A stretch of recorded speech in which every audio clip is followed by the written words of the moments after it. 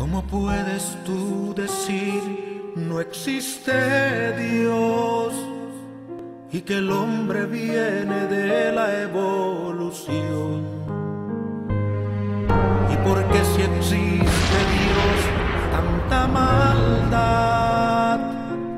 Es el grito de esta pobre